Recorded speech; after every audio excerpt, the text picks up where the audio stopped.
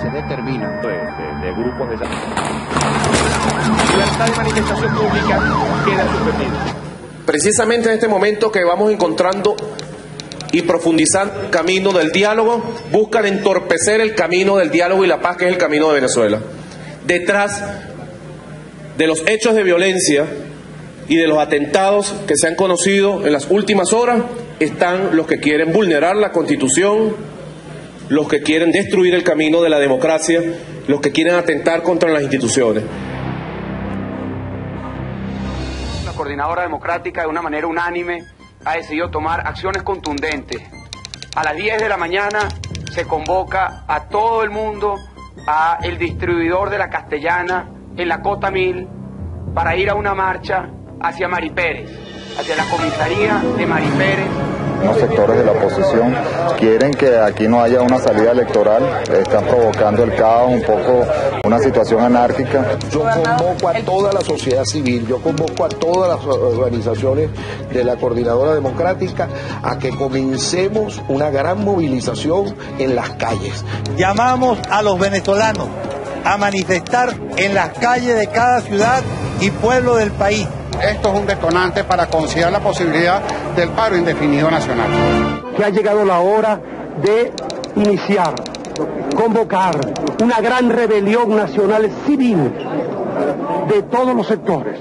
La sociedad civil y militar debemos entrar en una situación de absoluta desobediencia civil generalizada. En el paro tenemos que este, tener previsto que, que PDVSA debe estar dentro del paro. Va a ser un paro más de que no va a ser una simple jornada más, sino que va a ser la faena definitiva con estocada y todo. Este locoide de Sabaneta hay que sacarlo a pedrada limpia, y lo digo públicamente. Con eso se derrocan y se sacan gobierno y se sacan al presidente. Carmona cayó, ¿está bien? Porque lo que salió con Carmona fue todo el ¿entiendes? De la Cuarta República otra vez. Y lo que está planteado ahí todavía es el mismo entonces, vale, hay que deslindarte. La oposición tiene que asumir los problemas, tiene que ser auténtica, tiene que ser moralmente auténtica, para empezar, para empezar. Entonces, la responsabilidad de un Ledesma, de un Eduardo Fernández, de un Leo Pérez, ¿entiendes? De todo ese montón de hombres que formaron parte del antiguo, si fueran responsables de verdad, se retirarían. Si nunca han representado un pueblo, representaban partidos e intereses creados. Entonces, lo que la responsabilidad política de esta gente está, está en, en salirse de una pelea que les queda grande. Desde su fundación en 1944, la Federación de Cámaras y Asociaciones de Comercio y Producción de Venezuela ha contado con poder e influencia en el desarrollo económico del país. Integrada por empresarios de los sectores económicos, destacando el sector agrícola, minero, de transporte y medios de comunicación, llegó a posicionarse como actor político en 2002, para esta fecha, la postura insurrecta y de defensa de las mayorías por parte del presidente Hugo Chávez Frías se hacía ley a través de 49 nuevos decretos que replantearían el acontecer en el área de hidrocarburos, de asociaciones cooperativas y especialmente en materia agraria, donde su gobierno tenía potestad de supervisar tierras ociosas en manos privadas y la exigencia de títulos de tierras a hacendados y a representantes de la oligarquía criolla.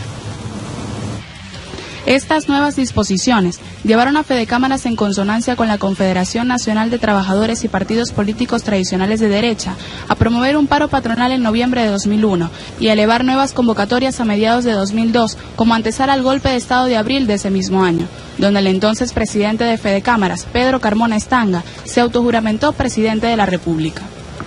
Tras la insurrección militar y popular que destronó la dictadura más breve de la historia del país, los mismos actores desplegaron nuevas arremetidas concretando un paro petrolero ocho meses más tarde. Este ensombreció las festividades decembrinas de las familias venezolanas, que no podían abastecerse con normalidad de ciertos productos alimenticios y de combustible. Estos son intereses creados que tienen estos señores.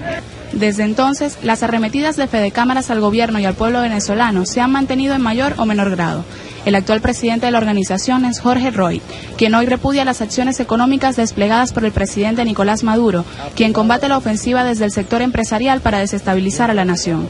Fede Cámara se sitúa en la acera de los comerciantes, que han quedado en evidencia por usura y estafa al pueblo venezolano, tras la fiscalización ejecutada por el gobierno bolivariano.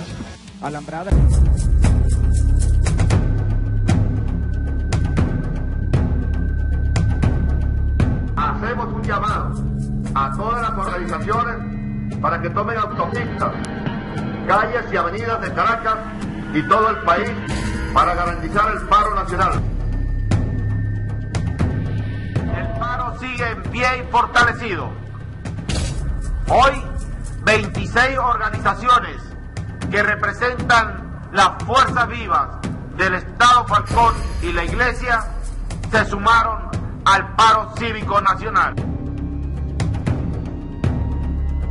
Cerrada la producción de 1.9 millones de barriles por día de crudo, lo cual representa el 68% de la producción total de PDVSA de 2.8 millones de barriles.